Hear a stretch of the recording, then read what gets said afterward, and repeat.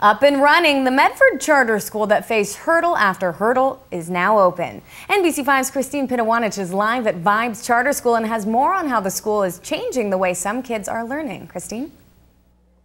Natalie, that's right. I am here inside Vibes. Let me take you inside one of these classrooms.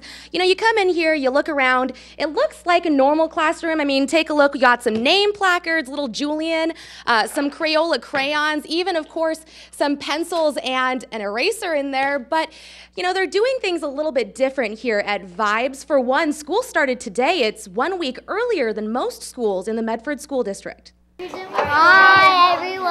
It's the first day of school for aspiring dentist and third grader Tawan Barana Tamawat. I learned about math and more stuff, and I had lots of reading.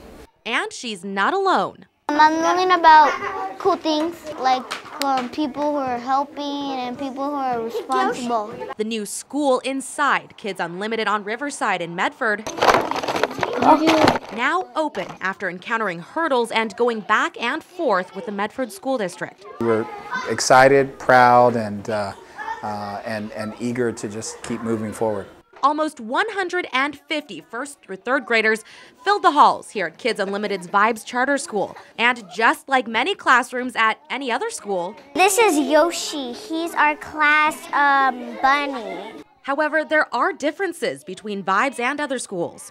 The difference is that it's a program that's committed to a longer school year. And the school day here at Vibes is a longer one, going from 7.30 in the morning all the way to 5.30 in the evening. But the length of the day isn't the only thing that's different here at Vibes. Kids are also getting three meals a day. And we've um, kept our classroom size at a maximum of 25 kids. And it's not just learning the basics like reading, writing, and math. Our afternoons will have kids being able to access the arts, music, uh, theater, dance, uh, culinary arts, sports.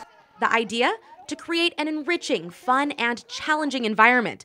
It's where future dentist Tawan says she's prepared to succeed. My mom says that dentists have to learn really much.